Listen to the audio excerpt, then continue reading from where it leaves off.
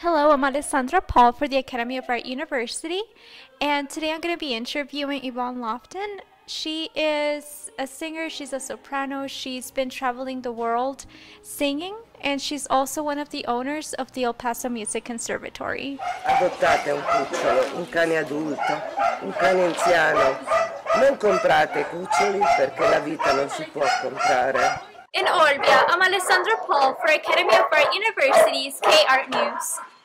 The Italian National Institute of Statistics state that 31% of Sardinians are abusing alcohol and drinking it at various times of the day and night. It has become popular for teens and adults to binge drink while going to bars, discos, parties, and on a daily basis. Salvatore Destiny, a local bartender, shares a few words.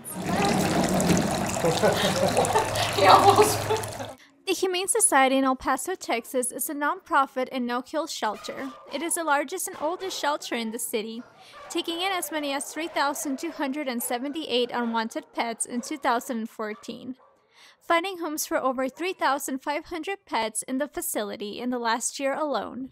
Some of the stories might have a happy ending, but road is not always smooth.